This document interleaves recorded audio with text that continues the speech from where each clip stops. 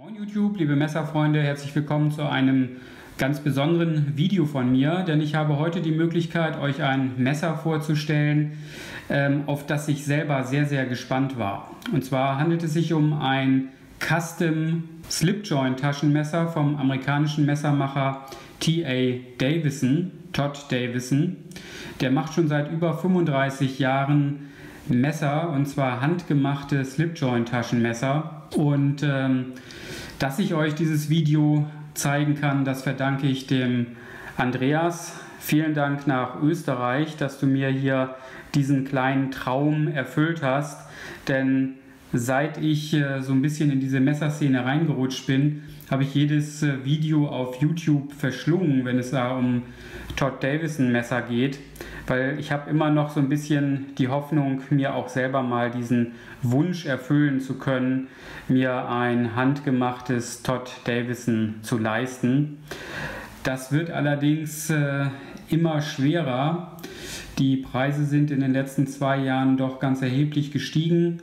Im Moment fangen sie bei etwa 500 Euro an. Nach oben sind da natürlich kaum Grenzen gesetzt.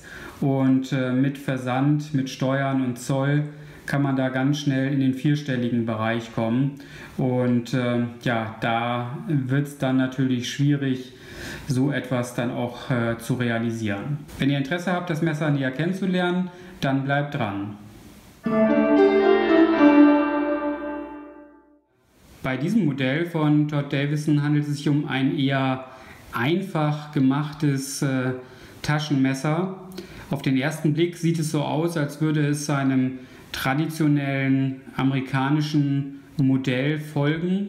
Allerdings sagt äh, Todd Davison selber, dass er keine Messer nach ähm, den alten amerikanischen Mustern herstellt, sondern dass er sich da einfach nur inspirieren lässt, aber jedes einzelne Messer doch dann seinem eigenen Design folgt. Bevor wir uns das Messer näher angucken, ganz kurz die technischen Daten. Es hat eine Gesamtlänge von 16,3 cm. Die Klinge ist insgesamt 7 cm lang. Die eigentliche Schneide ist dann aber nur noch gute 6 cm lang. Die Klingenstärke beträgt 2,4 mm und als Klingenstahl setzt äh, Todd den CPM 154 ein. Und das Messer wiegt nur ganze 165 Gramm. Schauen wir uns zunächst die Klinge an. Dabei handelt es sich um eine Clip-Point-Klinge, die von Todd Davison handsatiniert wurde. Und das gefällt mir persönlich sehr, sehr gut. Auch wenn spiegelpolierte Klingen vielleicht äh, noch dazu beitragen, das Messer etwas rostträger zu machen, da es kaum Angriffsflächen bietet, so finde ich doch hier diese recht grobe Satinierung wesentlich praktischer im Alltag. Mir persönlich geht es so, dass ich mich etwas schwer tue, spiegelpolierte Klingen richtig zu benutzen, dieses Problem hätte ich hier bei dieser Satinierung nicht. Zumal sieht man dann hier auch nicht so einfach die Fingerabdrücke. Also alles in allem eine doch sehr gebräuchliche Klinge. Die Klinge trägt hier den klassischen Nagelhau, den man nicht unbedingt benötigt, denn man kann die Klinge auch einfach mit äh, Daumen und Zeigefinger aus dem Heft ziehen. aber der Nagelhau vereinfacht das Ganze natürlich.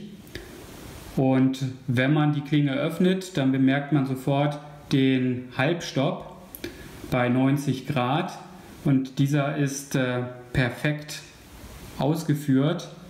Wie man hier erkennen kann, liegt die Feder sehr schön flach zwischen den Platinen, so wie es sein sollte und auch im geöffneten Zustand perfekt flach. Also sowohl geschlossen als auch im Halbstopp und geöffnet perfekt gearbeitet und das nur per Hand ohne C&C-Maschine und diese Spaltmaße brauchen sich selbst vor Moki-Taschenmessern nicht zu verstecken. Auf der Klingenwurzel dann die Stempelung TA Davison USA und das ist auch die einzige Beschriftung, die wir hier auf der Klinge wiederfinden. Kein Stahl, kein Logo, kein gar nichts. Sehr schön, einfach gemacht, Da sollten sich andere Hersteller mal ein Beispiel dran nehmen. Was mir außerdem gefällt, ist, dass die Clip-Point-Klinge hier nicht zu ähm, stark ausgeführt ist. Sie bleibt hier in ihrer Form immer noch sehr gut zu gebrauchen. Eine kleine Schleifkerbe vereinfacht es dann, das Messer scharf zu halten. Die Auslieferungsschärfe ist im Übrigen sehr gut. Der Andreas hat sich hier, wie gesagt, für eine relativ einfache Ausführung des Messers entschieden. Das grüne Mikata hier ist sehr robust und ganz hervorragend verarbeitet. Die Übergänge sowohl bei den Nieten als auch hier zu den aufgesetzten Stahlbacken ist, ist ganz hervorragend gearbeitet. Man spürt hier mit dem Finger keinerlei Übergänge. Am Ende des Griffes dann hier nochmal eine Hülse für einen Fangriemen oder ein Lanyard. Die Verzierung auf den Platinen ist relativ einfach gehalten, aber doch sauber ausgeführt. Auch die Rückseite der Rückenfeder trägt eine Verzierung. Das Innere des Hefts ist sehr sauber gefertigt und trägt auch noch ein kleines Geheimnis, denn hier im Inneren ist die Seriennummer eingefräst. Der Todd nummeriert alle seine Messer durch und dieses hier ist das 1350. Messer, das er gebaut hat. Leider lässt sich das hier mit der Kamera nicht sehr gut einfangen. Ich brauchte da eine Lupe, um die Zahl hier entziffern zu können. Die Handlage des Messers ist hier für mich mit meiner Handschuhgröße 9 sehr gut. Ich habe also einen vollen Vier-Finger-Griff. Und da der Griff hier geradlinig und einfach gestaltet ist, bietet er auch eine recht universelle Handlage und ist auch für kleinere und vielleicht leicht größere Hände als äh, meine noch gut geeignet. Was ich bei den traditionellen Taschenmessern gut finde, ist, dass das Ricasso so einen ganz kleinen Schwung nach unten hat und damit dem Zeigefinger noch einmal etwas Halt bietet.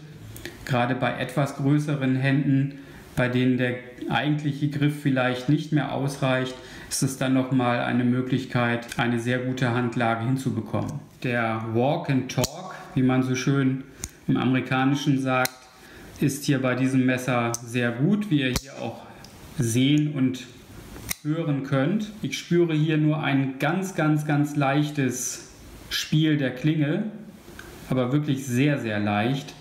Ansonsten perfekt gemacht auch hier. Auch der Klingenstand ist äh, für ein Messer in diesem traditionellen Stil recht ordentlich.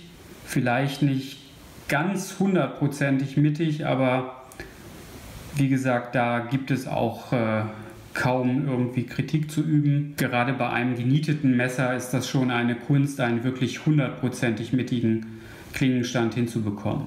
Der Andreas hat sich hier für dieses grüne Mikata entschieden. Ähm, ein sehr robustes Material, das ähm, geradezu dazu einlädt, dieses Messer auch richtig zu benutzen und eben nicht einfach nur in die Vitrine zu legen.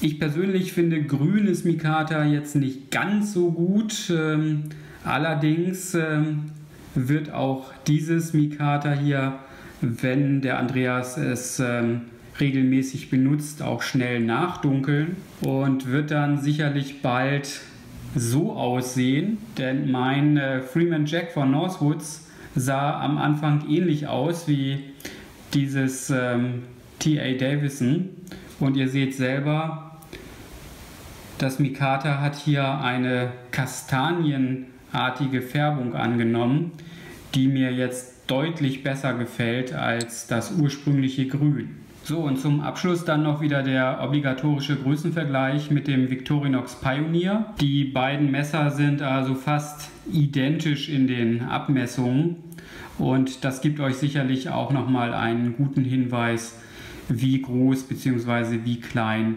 das äh, Todd Davison Messer ist. Alles in allem hat Todd Davison auch bei diesem Messer wieder sehr, sehr gute Arbeit abgeliefert.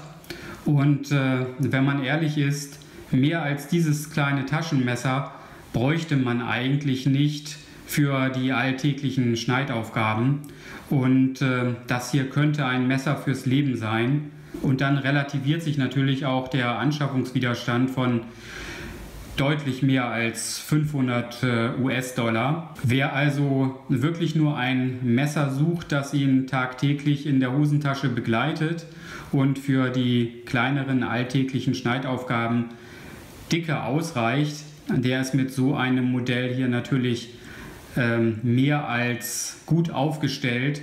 Und es ist natürlich auch immer noch etwas Besonderes zu wissen, dass man ein Messer bei sich trägt, dass man sich hat von einem Messermacher bauen lassen, der seit über 35 Jahren Erfahrung mit dem Bau solcher Taschenmesser hat und das eben auch perfekt ausgeführt ist. Vielen Dank nochmal, Andreas, dass du mir die Gelegenheit gegeben hast, äh, so ein Messer tatsächlich auch mal selbst äh, in die Hand nehmen zu dürfen und auszuprobieren. Und äh, es hat mich ähm, in meiner Meinung noch bestärkt, dass die Messer von Todd Davison wirklich etwas ganz Besonderes sind und ähm, dass es sich tatsächlich lohnen würde, hier so viel Geld auf den Tisch zu legen um so ein Messer sein eigen nennen zu dürfen. Ich hoffe, es hat dir gefallen und auch du bist das nächste Mal wieder dabei, wenn es bei mir heißt, Moin YouTube, liebe Messerfreunde. Bis dahin, tschüss.